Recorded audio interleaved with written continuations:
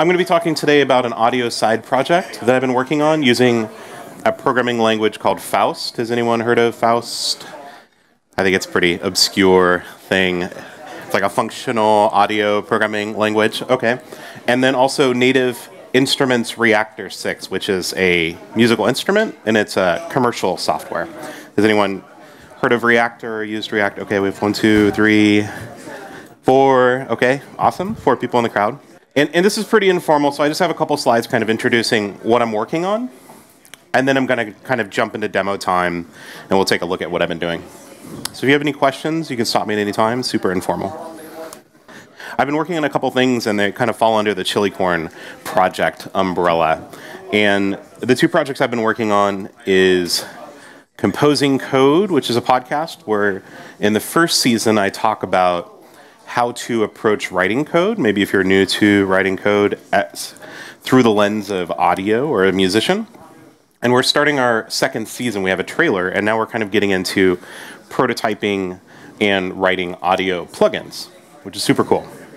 So that's something I do, part of the Spice program. And the other thing I got involved with is this Chilicorn Records, compilation three. So has anyone heard of Chilicorn Records? Is anyone here involved with it Have created a track? Okay.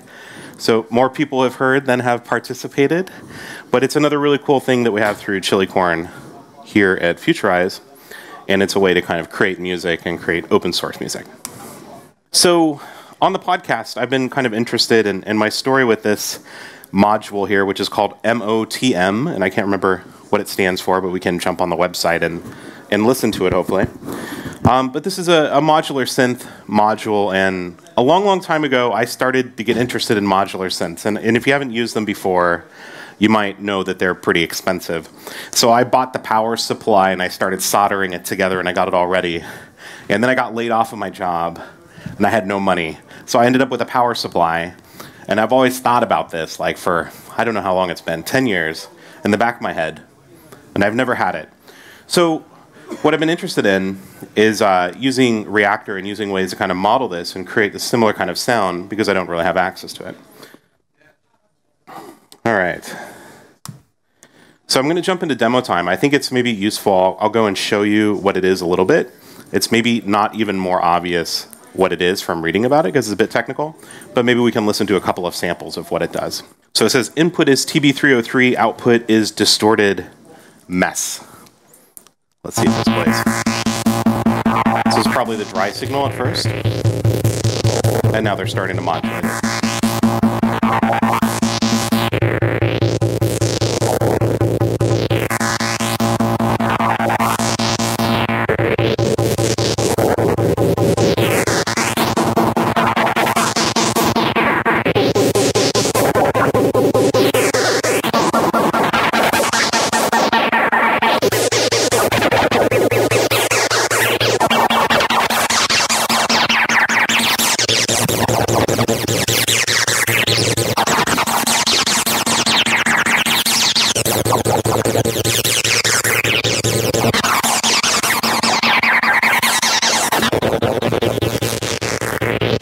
Let's listen to a flute turned into a thrash metal guitar.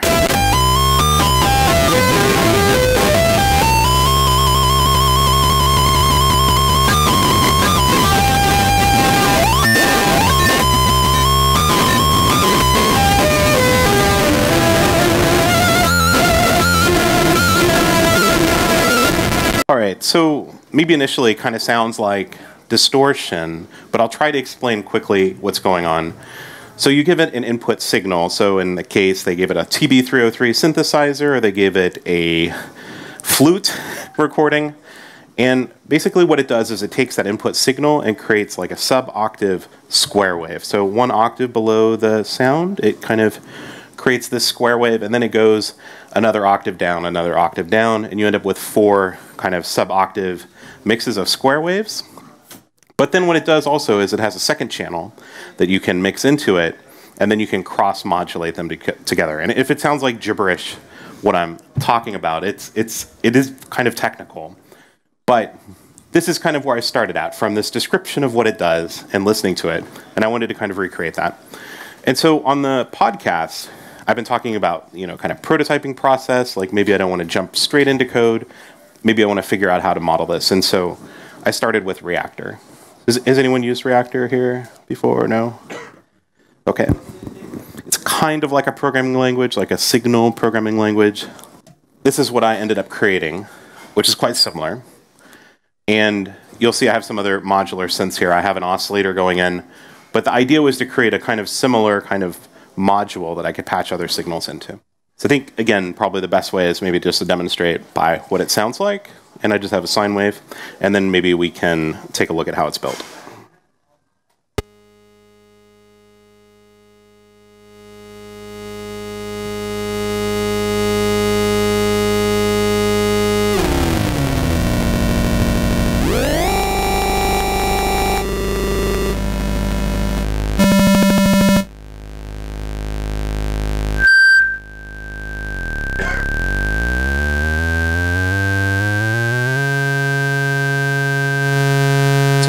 Input signal, and I can change the pitch, and then I can bring in a sub-octave below it. And I can turn on and off the cross modulation here.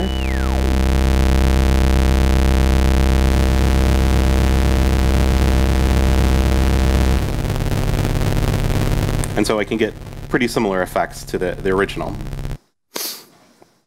All right, so let's take a look at how this is built. So if this looks a little bit like a mess, it kind of is. And I think this is maybe the downfall a little bit of these signal flow style programming languages. You end up getting wires going everywhere and it kind of, you have to kind of visually organize things. So here I have the input audio of the module going in to this macro, which is kind of like a group or a function you might think. And I found this built-in frequency divider that kind of did exactly what I need to do. So I'm dividing the first frequency because you can have it just turn to the same frequency of a square wave, one octave below, an octave below that octave, so on and so forth. And so this just outputs all of the basic square waves. And then I needed a way to switch it, so I have this cross modulation that changes whether it's being um, ring modulated or not. And so that's basically switching all of these different channels, channels that are being mixed together, whether they're being um, just added together or multiplied. And finally, there's some sort of mixing going down at the end because I want to bring the sound volume down, right? Because we don't want to get too hot and start distorting. So this is something like I was playing around with, trying to get a similar sound, listening to what it was online, and this is kind of like the prototype. And I think I've got something pretty similar. Now I can kind of play around with it as if I had the real thing, but in, in the digital realm. But I didn't want to stop there. and I got interested in this language called Faust. Is, is anyone nobody has really heard of it before, right, or used it too much. Okay, cool.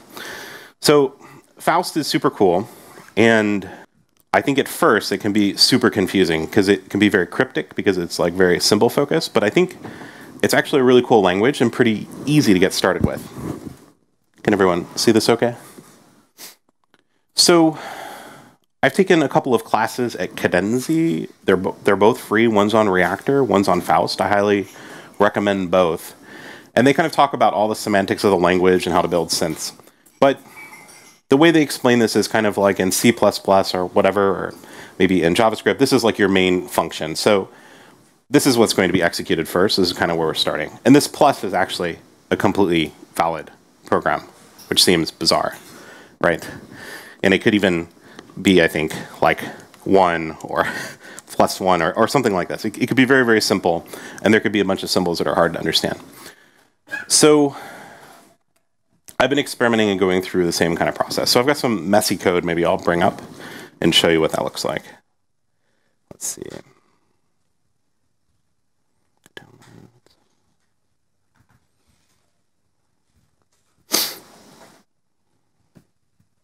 Okay, and I have no idea how loud this might be.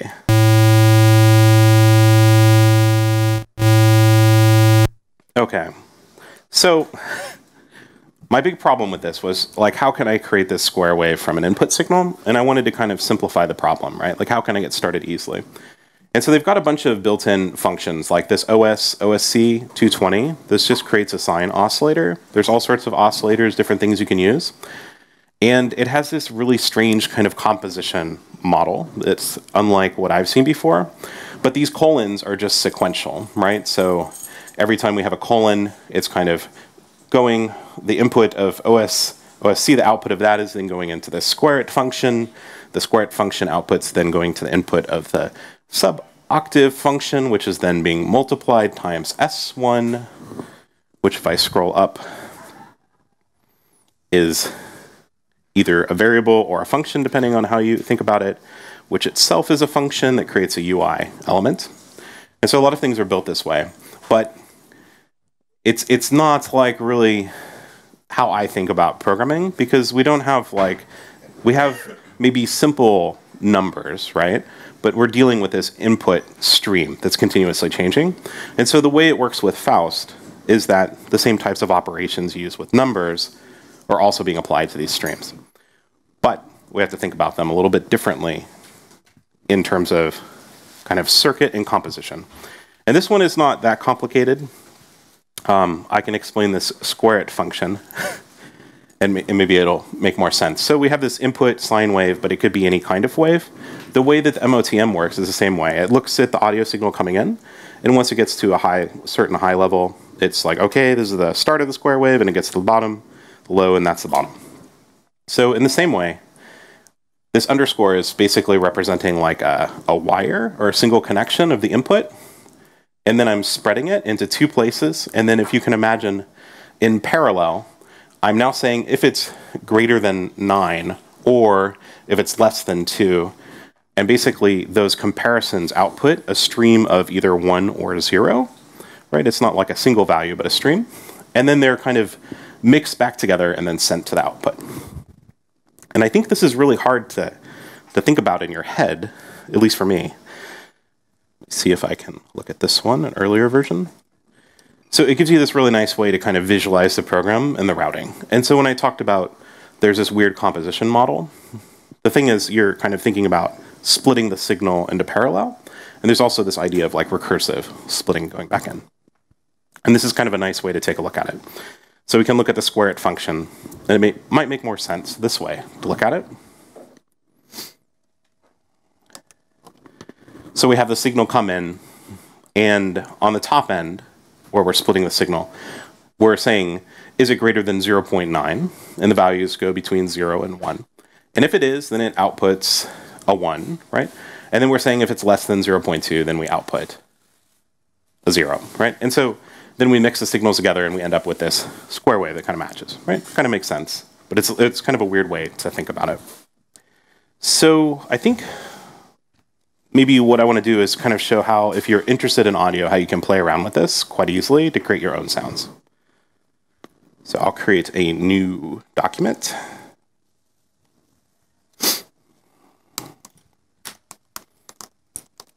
So we can create like an oscillator at 440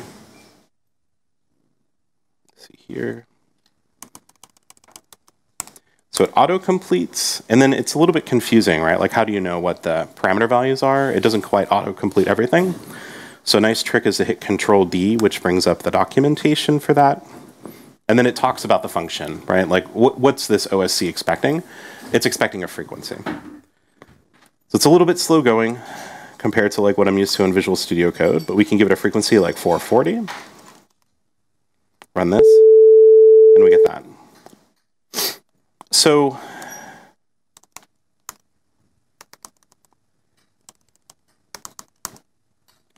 if we use addition, right? Like like this is kind of like an audio mixing two signals together, right? Addition.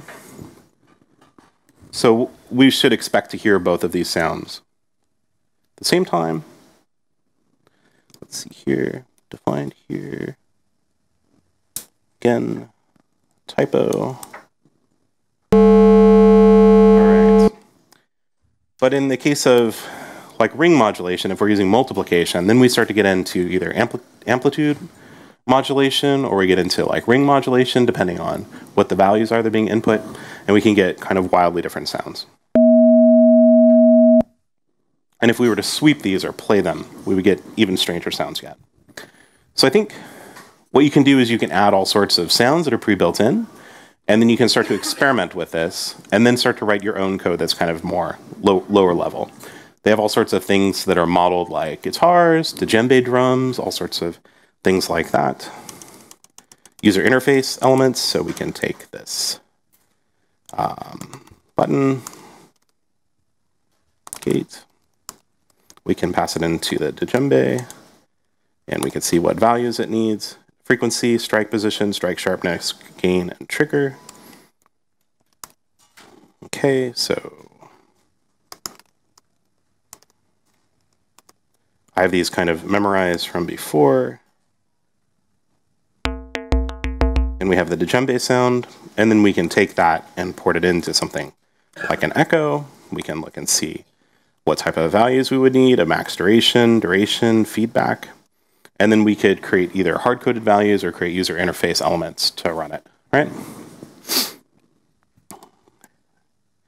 And I think this is one thing, right? It's like an audio playground, but you might wonder, like, why, why use this? I think one is you have a bunch of, a, a big part of the library where you can go ahead and already kind of play around with things. It's like a really nice playground. But the other thing is that it's very useful because you can export into C++. You can use it in JavaScript. You can export audio unit plugins, and you can basically generate all this stuff without much work. And normally, to create that, you have to write everything in C++, get it into DSP. There's also another thing called JUCE that you could get into, but it's a little bit more difficult to kind of get into just playing around with audio and prototyping.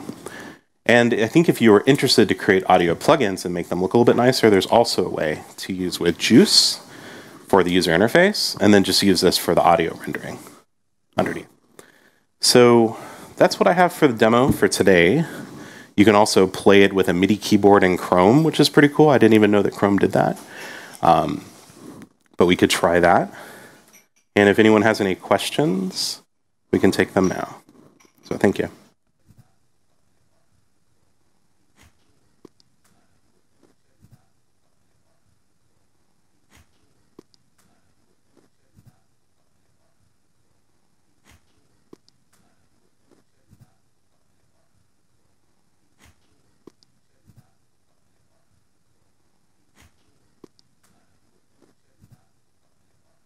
Okay. Let's see if this will work.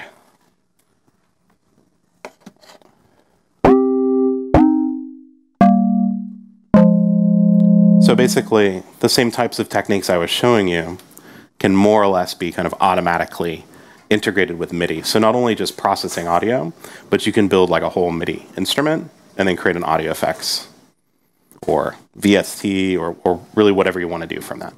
It's super cool technology. Cool. All right. So if there's no questions, that's it. Thank you.